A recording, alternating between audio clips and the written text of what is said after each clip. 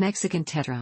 The Mexican tetra or blind cave fish, Astyanax mexicanus, is a freshwater fish of the family Characidae of the order Characiformes. The type species of its genus, it is native to the Nearctic ecozone, originating in the lower Rio Grande and the Nueces and Pecos rivers in Texas, as well as the central and eastern parts of Mexico.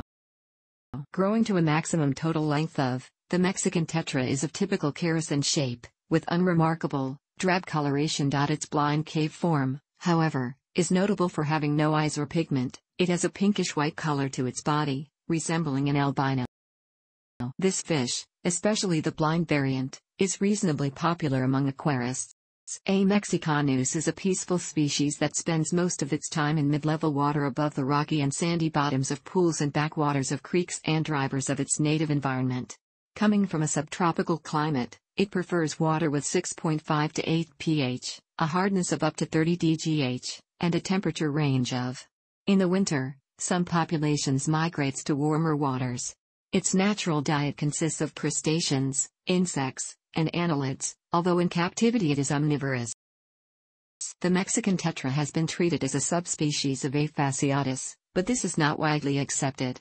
Additionally, the blind cave form is sometimes recognized as a separate species, A. jordani, but this directly contradicts phylogenetic evidence.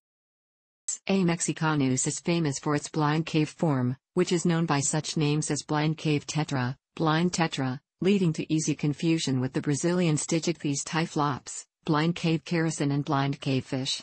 Depending on the exact population, cave forms can have degenerated sight or have total loss of sight and even their eyes. The fish in the Pachón caves have lost their eyes completely whilst the fish from the Micos cave only have limited sight. Cave fish and surface fish are able to produce fertile offspring. These fish can still, however, find their way around by means of their lateral lines, which are highly sensitive to fluctuating water pressure. Currently, about 30 cave populations are known, dispersed over three geographically distinct areas in a karst region of San Luis Potosí and far southern Tamaulipas, northeastern Mexico. Among the various cave population are at least three with only full cave forms, blind and without pigment, at least 11 with cave, normal and intermediate forms, and at least one with both cave and normal forms but no intermediates. Studies suggest at least two distinct genetic lineages occur among the blind populations, and the current distribution of populations arose by at least five independent invasions.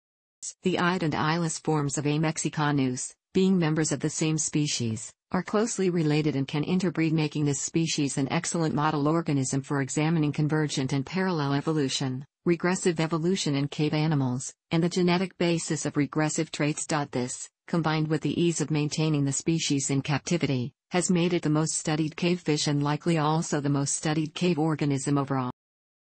The blind and colorless cave form of A. mexicanus is sometimes recognized as a separate species, A. jordani, but this leaves the remaining A. mexicanus as a paraphyletic species and A. jordani as polyphyletic. The Cueva Chica cave in the southern part of the Sierra del Abra system is the type locality for A. jordani. Other blind populations were initially also recognized as separate species, including Antrobius described in 1946 from the Pachón Cave and hubbsi described in 1947 from the Los Sabinos Cave, both subsequently merged into Jordani, Mexicanus.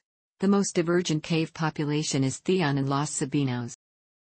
Another cave-adapted population of Astyanax, varying from blind and depigmented to individuals showing intermediate features, is known from the Granadas Cave, part of the Balsas River drainage in Guerrero, southern Mexico, but it is a part of Aeneus, itself sometimes included in A. Mexicanus. The surface and cave forms of the Mexican tetra have proven powerful subjects for scientists studying evolution.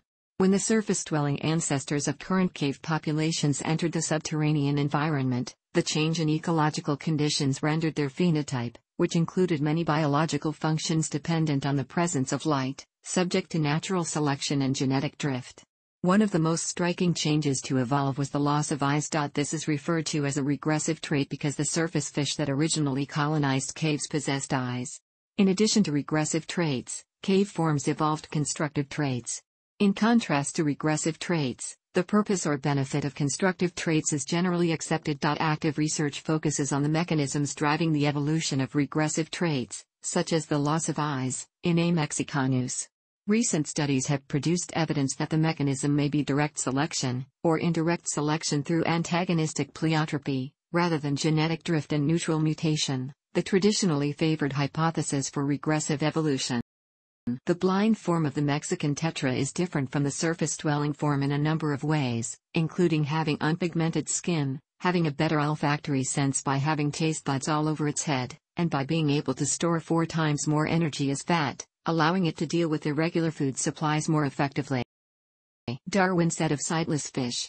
Modern genetics has made clear that the lack of use does not, in itself, necessitate a feature's disappearance. In this context, the positive genetic benefits have to be considered, i.e., what advantages are obtained by cave-dwelling tetras by losing their eyes. Possible explanations include Another likely explanation for the loss of its eyes is that of selective neutrality and genetic drift. In the dark environment of the cave, the eyes are neither advantageous nor disadvantageous and thus any genetic factors that might impair the eyes, or their development, can take hold with no consequence on the individual or species. Because there is no selection pressure for sight in this environment, any number of genetic abnormalities that give rise to the damage or loss of ice cooled proliferate among the population with no effect on the fitness of the population. Among some creationists, the cave tetra is seen as evidence against evolution. One argument claims this is an instance of devolution showing an evolutionary trend of decreasing complexity.